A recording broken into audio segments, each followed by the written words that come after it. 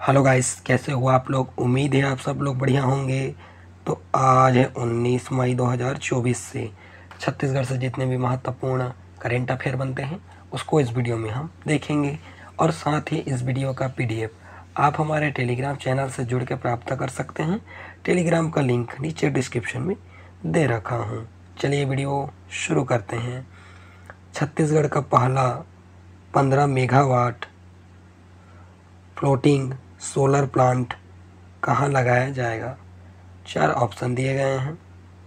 भिलाई, बालको अभनपुर मैनपाट। इसका right answer हो जाएगा ए भिलाई में। ठीक है?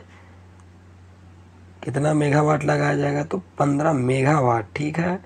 या पंद्रह मेगावाट फ्लोटिंग सोलर प्लांट लगाया जाएगा। अब भिलाई में लगाया जाएगा और भिलाई किस ज़िले से संबंधित है? तो भिलाई दुर्ग ज़िले से संबंधित है। अब दुर्ग की बात आई है तो दुर्ग के बारे में कुछ इम्पोर्टेंट फैक्ट देखते हैं दुर्ग की स्थापना 1906 मुख्यालय दुर्ग। दुर्ग शिवनाथ नदी के किनारे बसा है और प्रदेश में बहने वाली सबसे लंबी नदी है शिवनाथ नदी। प्रदेश में कितनी बहती है? तो 290 किलोमीटर बहती है। प्रदे, प्रदेश में सर्वाधिक साक्षर जिला है तो दुर्ग जिला है। ठीक है इनको भी आप याद रखिए। स्वर्गीय हेमचंद विश्वविद्यालय दुर्ग नागपुरा। ठीक है जैन तीर्थक तेईसवें पावरसनाथ मंदिर यहीं पर स्थित है। और सर्वाधिक नगरीय जनसंख्या जिला प्रदेश के दूसरा सबसे छोटा जिला है। और यहीं पर 1955 भिलाई इस्पात संयंत्र की स्थापना द्वितीय पंचवर्षीय योजना के तहत किया गया है और यहीं पर भिलाई स्टील प्लांट, सिटी ज्ञान की राजधानी, छत्तीसगढ़ की आर्थिक राजधानी भिलाई को भी कहा जाता है और यहीं पर उन्नीस पैंसठ ए सी सी सीमेंट, ठीक है, प्रदेश का प्रथम सीमेंट फैक्ट्री जामुन दुर्ग में स्थित है। वासुदेव चंद्रकार चंद्रकार वासुदेव, चंद्रकार कामधेनु विश्वविद्यालय, यहीं पर है और यहीं पर है प्रथम पशु चिकित्सक पशुपालन महाविद्यालय अंजोरा, ठीक है? अंजोरा दुर्ग में स्थित है। भिलाई सॉफ्टवेयर टेक्नोलॉजी पार्क का मैत्री गार्डन रूस और भारत की मित्रता का प्रतीक है। इस क्वेश्चन से भी आप इतना इम्पोर्टेंट फैक्ट को याद रखिए। चलिए नेक्स्ट क्वेश्चन की ओर बढ़ते हैं। नेशनल एम एम ए राष्ट्रीय प्रतियोगिता का आयोजन किया गया। चार ऑप्शन दिए गए हैं। रायपुर, बिलासपुर, दुर्ग, सरगोजा। इसका राइट आंसर हो जाएगा ए राजधानी रायपुर में। ठीक है, राजधानी रायपुर में किया गया नेशनल एम एम ए और इनको इंग्लिश में लिखा है, इसको हिंदी में क्या है इसका नाम? तो मिक्स मार्शल आर्ट ठीक है? यहाँ रायपुर में आयोजित किया गया। कब से कब? तो आठ से बारह मई, ठीक है? इन चार दिन इसका आयोजन किया गया और रायपुर में यहाँ किया गया है। अब रायपुर की बात आई है तो रायपुर के बारे में कुछ इम्पोर्टेंट फैक्ट देखते हैं रायपुर की स्थापना दो नवंबर अठारह सौ इकसठ, मुख्यालय रायपुर।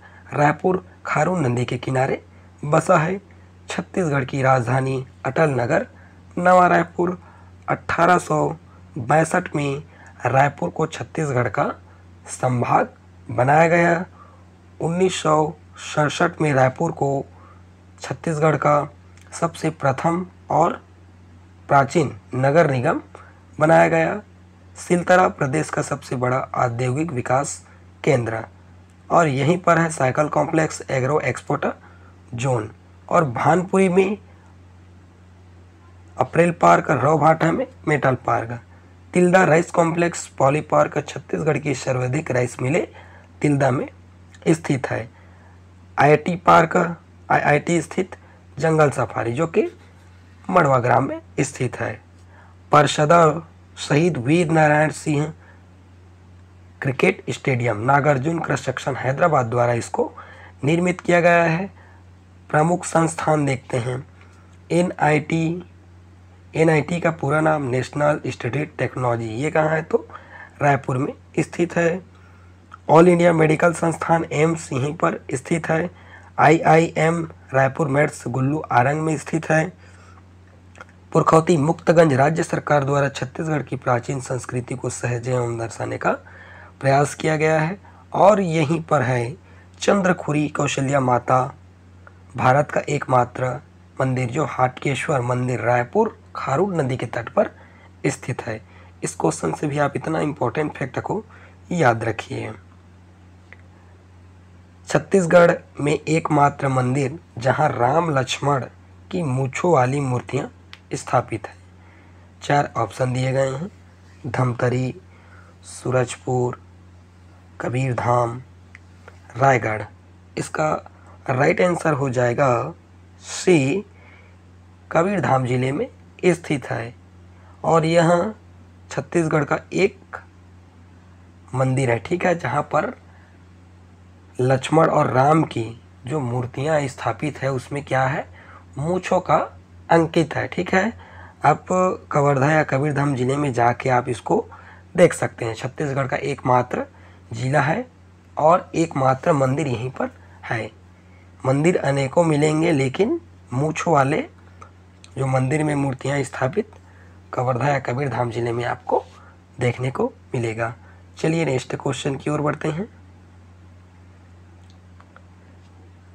राज्य सरकार द्वारा बीज ए ग्रेड कितने रुपए प्रति किलो से खरीदा जा रहा है? छत्तीसगढ़ में कितना खरीदा जा रहा है? चार ऑप्शन दिए गए हैं। तीस, बीस, चवालीस, पचास। इसका राइट आंसर हो जाएगा बी बीस रुपया क्या है? प्रति किलो जो साल बीज है, ठीक है?